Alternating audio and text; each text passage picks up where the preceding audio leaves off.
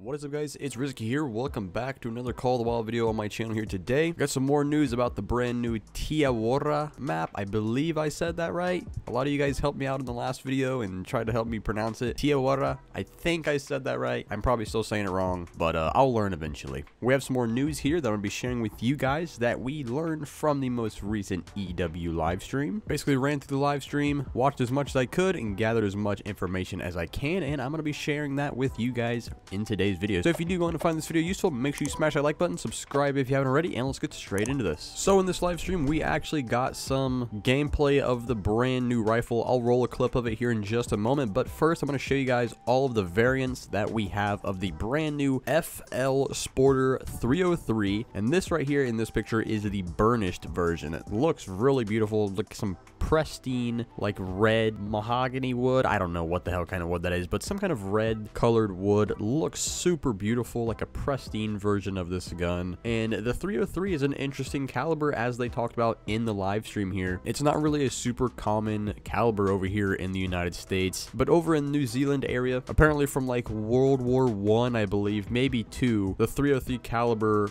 was very popular because of the Lee Enfield was one of the main battle rifles from that day and age. So over there in New Zealand, the 303 caliber is definitely a pretty popular hunting round. I don't know about this day and age, but at least, you know, back in the past. This variant is the laminated, just another pristine looking version here. I don't think we have any versions that are like beat up, kind of like we have for the Mosin and I believe the M1 Garand, how they're kind of worn and battle scarred, if you will. This is just another wood version, like a lighter color wood. Looks very good itself there. And this is the polymer version, just a plain black polymer texture to this rifle. Looks really nice. Can't complain about that. I think the one that I'm going to be running the most is definitely the the burnished version. That one is so clean. For the 303 caliber rifle, we will have soft points and polymer tips. So in case anyone was wondering that, yes, you will have both ammo types.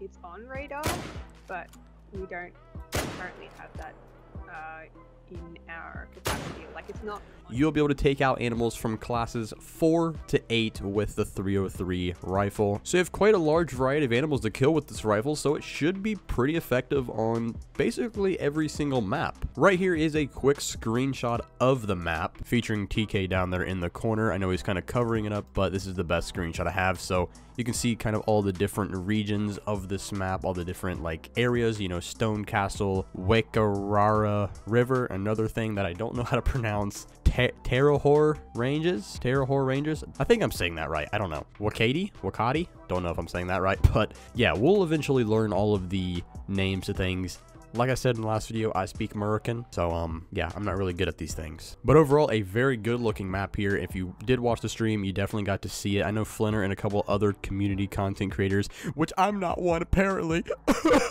Anyways, I could care less, but but a couple other content creators in the community did get a chance to take a look at this map firsthand, and it does look absolutely beautiful. Just some side information, in case you are wondering, the red deer collar will work for, obviously, the red deer and the Sika deer. The Snortmies will work for the Sika deer, and the wild boar collar will work for the feral pigs. That's basically all I gathered from this live stream. They didn't really talk about anything else that was super important regarding this map. So in case you didn't see the last video, go check it out. There might be some information in there that you might have missed and you probably want to hear. Um, I'll go over one more time. The release date is December 10th for PC and it is coming early 2021 for PS4 and Xbox One. That's going to do it for this video, guys. Hopefully this helped you out, answered a few questions for you. Thanks for watching, and I'll see you on the next one.